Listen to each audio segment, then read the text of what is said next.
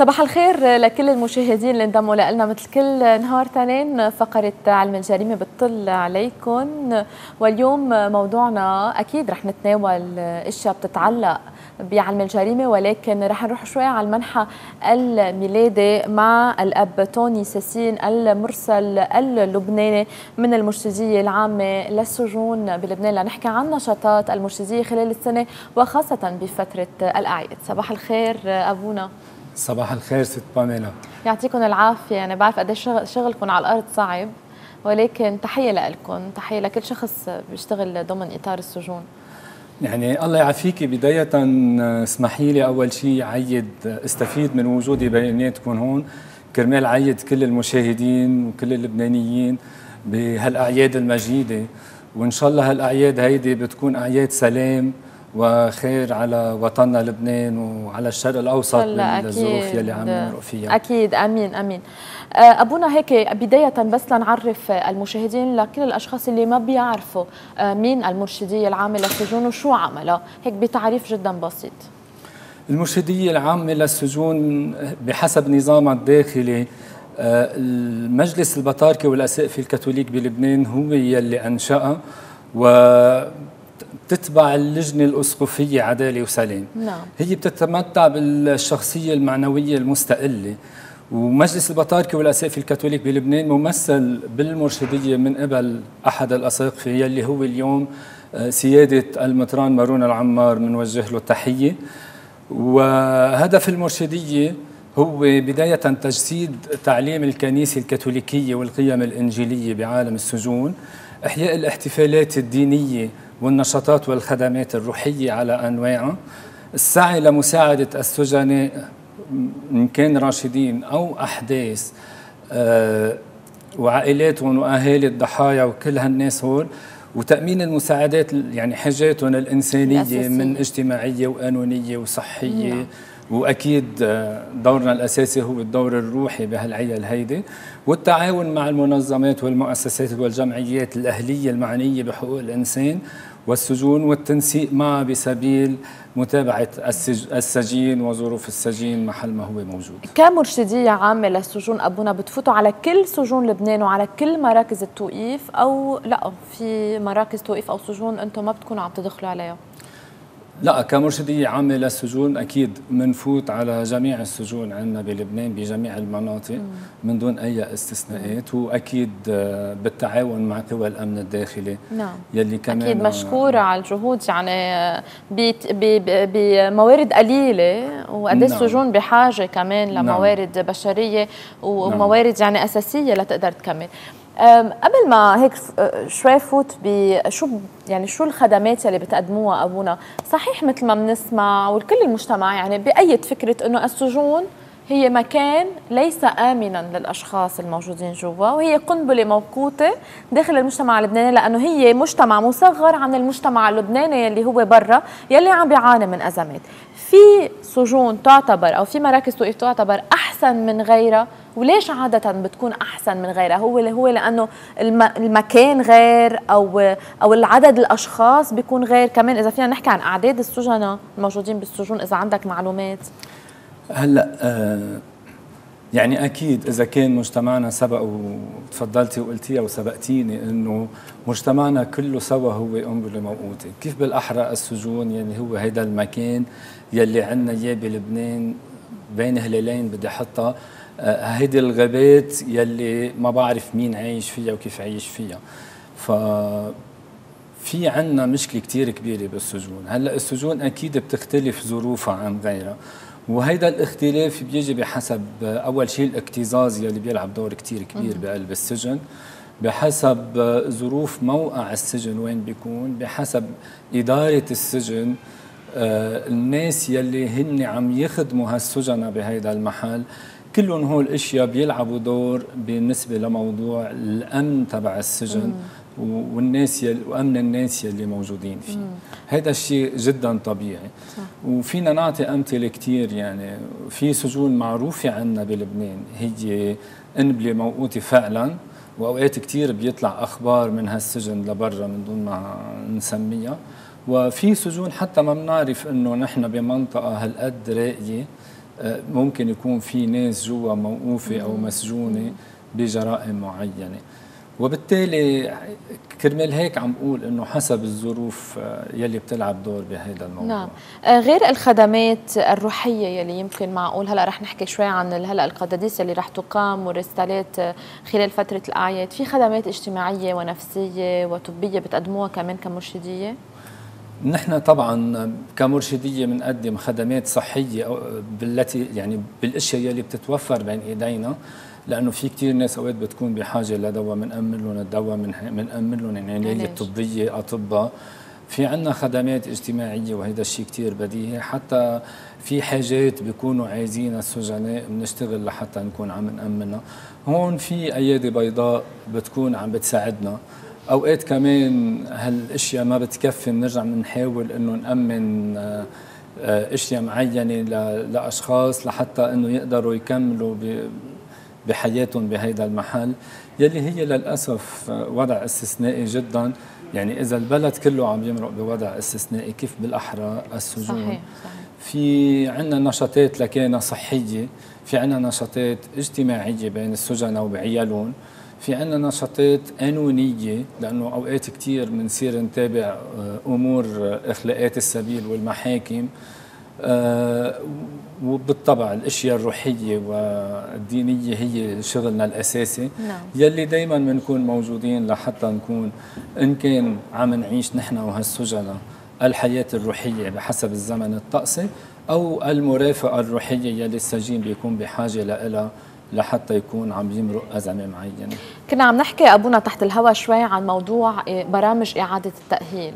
وللأسف بلبنان ما في برامج واضحة آه، بتتعلق بإعادة التأهيل الفعلي يعني بس نعم. يظهر الشخص من السجن يكون مؤهل إنه ينخرط بالمجتمع اللبناني ويكون قادر يشتغل ويصير برودكتيف أو منتج ليقدر خلص يرجع يتأقلم عم تشتغلوا شيء على برامج تأهيلية وخاصة برامج تأهيلية روحية لأنه الشق الروحي كثير بيلعب دور أساسي بعلم الجريمة بتكوين بتكوين الشخص على الصعيد النفسي. بتعرفي شغلة باميلا؟ آه، أنا كثير بتألم آه، لما أشوف دولتنا كيف بتشتغل. يعني دولتنا موجودة ومش موجودة ونحن بدنا نشتغل محل الدولة.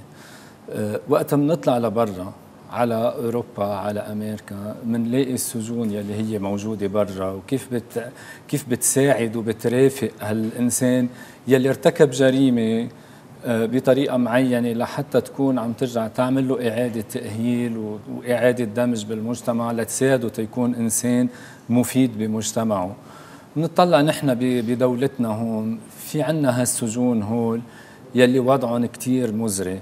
ويلي وضعهم للأسف تحت مستوى العيش. بيكون أوقات إنسان فايت على السجن.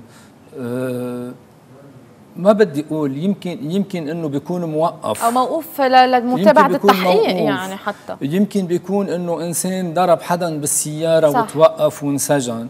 ولكن هذا إنسان منه مجرم بقصد إنه يعمل جريمة. ما في النيه يعني. بس يفوت على السجن ما بعرف شو بيطلع من السجن ومين بيشوف جوا وعمين بيتعرفوا وأي نوع من الإجرام يلي بيتعلموا جوا. هيدا الشيء خلينا نكون عم نفكر إنه نعم نحن بحاجة إنه نكون عم ناخذ دور الدولة ونفكر بإعادة تأهيل لهالسجناء هيدي وإعادة دمج لهم بالمجتمع. أنا بصراحة هيك عم بحاول أشتغل على هذا الموضوع ونشكر الله إنه عم بلاقي مؤسسات عندها الجرأة إنه تكون عم تتعاون معي أو معنا كمرشدية آه، لحتى ترجع توظف هول الأشخاص نحن وعم نعمل لهم تأهيل. ولكن لحتى نبلش بهيدا المشروع في عنا شوية عقبات عم نشتغل عليها يلي هو مثلا بعطي على سبيل المثال بدنا مكان لنكون عم نحط السجناء فيه. آه، هون في مصاريف هائلة بدها تكون عم تتأمن وبالتالي بدنا نكون عم نشتغل على البروجي بشكل آه، إذا في سميه إداري وأوراق وقوانين وأنظمة وبشكل مادي تنقدر إنه نكون عم نشتغل على هذا الموضوع. ولكن البيزكس يلي نحن بحاجة لها نسبه للعلاقات يلي موجودة ونسبه للأشخاص نشكر الله موجودة, موجودة. وبدنا إنه هيك الظروف شوي صغيرة بهالبلد تساعدنا لنقدر نكون عم نشتغل صح على هذا الموضوع صح بطريقة ثانية غير بدنا ننسى أبونا كمان العقبات القانونية لأنه في عنا سجل عدلي كمان رح يضل نعم. في عليه نقطة سوداء وفي كثير عقبات قانونية كمان يمكن هون دور مجلس النيابه يكون عم بيشرع قوانين بتسمح كمان بإعادة اندماج هول الأشخاص. يعني كمان المجلس النيابي عليه دور كثير مهم بتطوير القوانين يلي تعنى بهول بهول الأشخاص وبالأوضاع. حاليا شو عنا بفترة الأعياد؟ بما أنه نحن هلأ بكريسماس وكمان هول الأشخاص بحق لهم أنه يكونوا عم بيعيدوا بغض النظر عن ارتكابهم للجرائم. شو في نشاطات داخل السجن خلال فترة الأعياد؟ خلال فترة الأعياد في عنا نشاطات كثير بالسجون. آه، أكيد في عن عم نجيب بيش وفي توزيع شوكولا وفي توزيع مغلي. أه بحب مثلا أحكي عن أه هلأ هول البيش والشوكولا والبيش والشوكولا بكل سجون لبنان. في عنا المغلي بده يتوزع مبدئيا بسجن زحله هلأ هذه مفاجأة للشباب يمكن تكون. في عنا بمبنى الأحداث رح يكون في عندهم حفلة.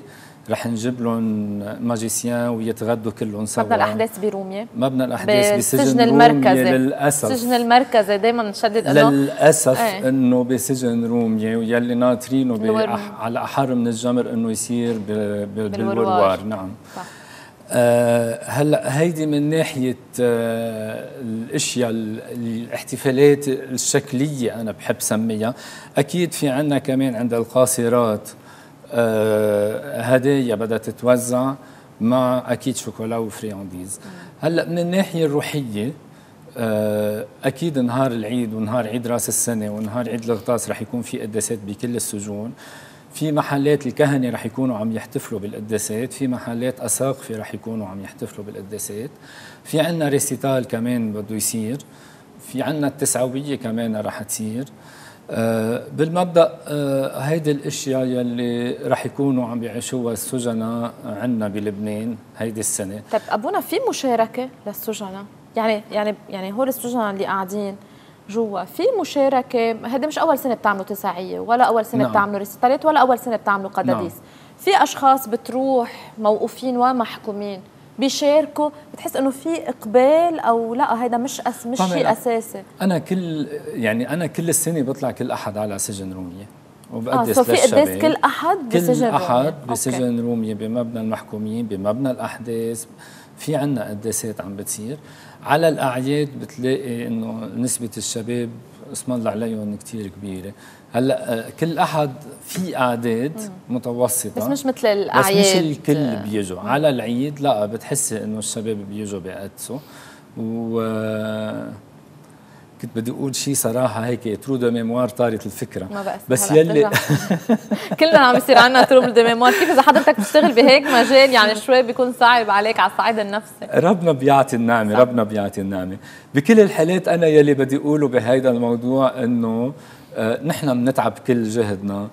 كرمال هالشباب بهالمحل هيدا يكونوا عم بيعيشوا الأعياد بطريقة آه، بداية تليق بالإنسان يلي موجود فيه صح. امبارح كان اليوم العالمي لحقوق الإنسان كمان. يعني نعم. هيدا شيء بنشدد عليه إنه حتى ولو هيدا الشخص ارتكب حيلا جرم.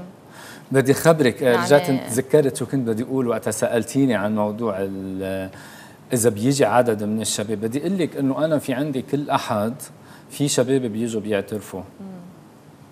وهذه شغلة كثير مهمة صح. لأنه آه، برات السجن في اعترافات أكيد ولكن والاعتراف شيء كثير مهم وأساسي بحياتنا الروحية.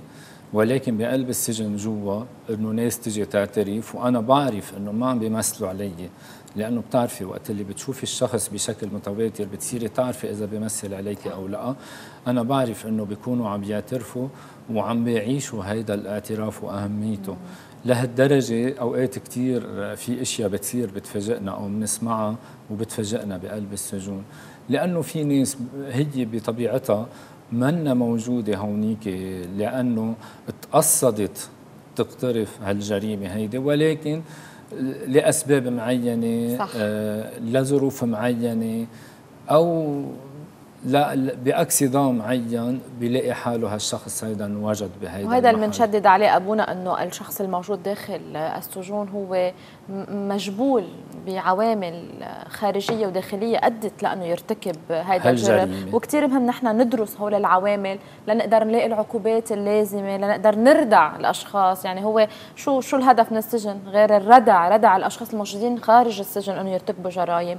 اللي عم تعمله أبونا هو نوع من إعادة تأهيل. بطريقة غير مباشرة. إذا الشخص عم بيجي لعندك كل مرة أو عم بيحضر قداس أو عم بيتناول أو ما بعرف شو النشاطات اللي عم تعملوها عم تعملوا برامج إعادة تأهيلية من حيث لا تدرون يعني لا تدرون يعني. هالقد هالقد العمل جوا داخل السجن عم بيكون فعال مع المرشدية العامة للسجون.